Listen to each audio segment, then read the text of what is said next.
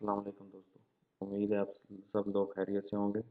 दोस्तों, इस वीडियो में हम सीखेंगे कि AutoCAD civil three D की जो ड्राइंग है, वो गूगल अर्थ में कैसे एक्सपोर्ट की जाती है। तो ये मेरे पास एक राउंड बोर्ड है, जो मैंने क्रिएट किया था। तो सबसे पहले हम इसकी जो सेटिंग है, वो चेक करेंगे यूटीएम वगैरह जोन तो उसका क्या तरीक़ेकार है? ये देखें, ये सिविल थ्री डी। आप इस आइकन में आए। इधर से ड्राइंग यूटिलिटीज़। पहले आप ड्राइंग सेटिंग करनी है। आप ड्राइंग सेटिंग में जाएँ पहले। ये देखें मीटर। ये जो मीटर और डिग्री, ये भी ठीक है।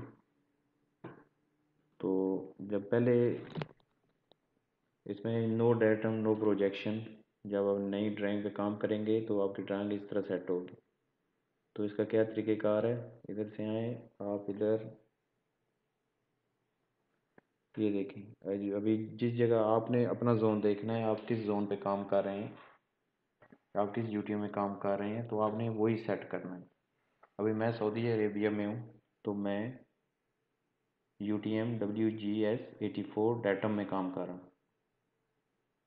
और जो मेरा नॉर्थ है थर्टी नाइन तो इसका आप इधर थर्टी नाइन अगर ये अगर इधर ना आए थर्टी नाइन एन ना आया हो, कोई कुछ और आया हो तो आप इधर मैनुअल भी ऐड कर सकते हैं थर्टी नाइन एन अभी ये सेट हो गया, आप इसको अप्लाई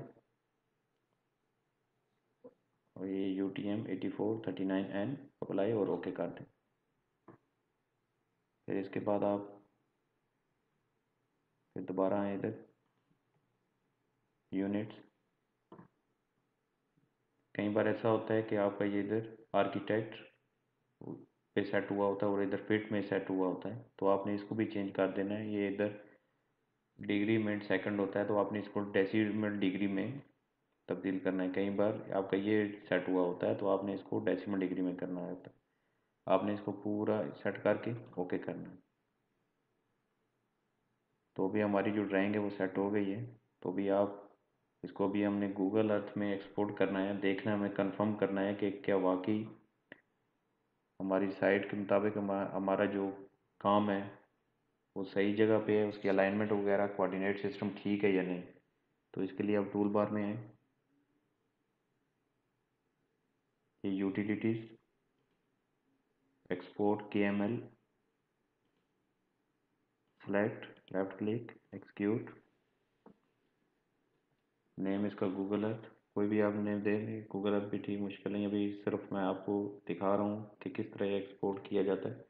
नेक्स्ट मुझे आल आल ऑब्जेक्ट कर, करने हैं। आल ऑब्जेक्ट जो है वो सारे ऑब्जेक्ट जो है इसको सेलेक्ट किए करके मैंने उसको एक्सपोर्ट करने हैं। आप सिलेक्टेड ऑब्जेक्ट भी कर सकते हैं। जो ऑब्जेक्ट आपको चाहिए आप उसको सेलेक्ट भी कर सकते हैं। लेकिन मुझे ऑल ऑब्जेक्ट चाहिए तो ऑल को ही सेलेक्ट करें। Next next drop object on ground इसको सेलेक्ट कर लें। नेक्स्ट ये देखें। डेस्कटॉप गूगल अर्थ के एम जेड और इसको एक्सपोर्ट कर दें। और व्यू इसके ऊपर क्लिक करें।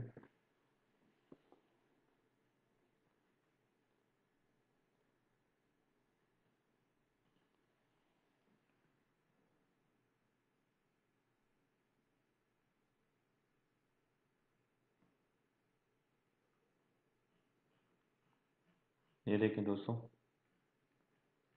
मैंने इधर ही ड्रोन बोर्ड जो है एक्सपोर्ट इधर एक्सपोर्ट किया है। मेरा जो काम है बिल्कुल ठीक है। इधर ये जो हमने, इस जगह पे हमने राउंड बोर्ड बनाना है, और जो इसको पूरी रोडों को अपडेट करना है, यानी कि जो मेरा काम है ये बिल्कुल ठीक है।